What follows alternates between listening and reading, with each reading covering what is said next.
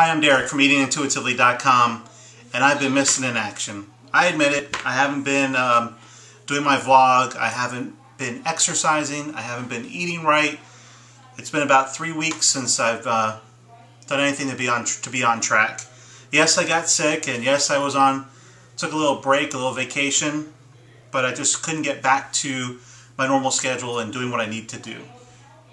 So, given it a lot of thought, trying to figure out what is the best way for me to get back on track, and I really have come to the conclusion that one of the very most important things is to record this vlog because I can share my challenges, my struggles with you, and I'm always um, surprised at the, the wonderful feedback that I get and how helpful it is to help me um, get back on track.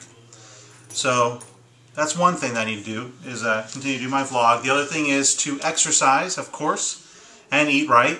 And then um, I'm trying to uh, really take a close look at what are some of my challenges with sticking to a healthy eating plan.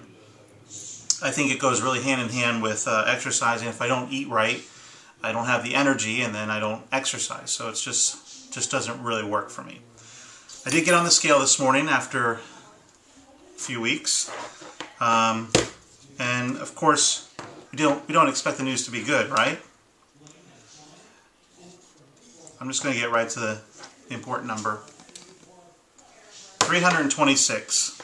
So I think that's a gain of 5 pounds since I last got on the scale. I guess it's not terrible, but I'm just so fighting this direction. I want the scale to go down. I don't want the scale to go up. I don't want to be in the 330s again. I want to say goodbye to the 320s. I want to say goodbye to the 300s again.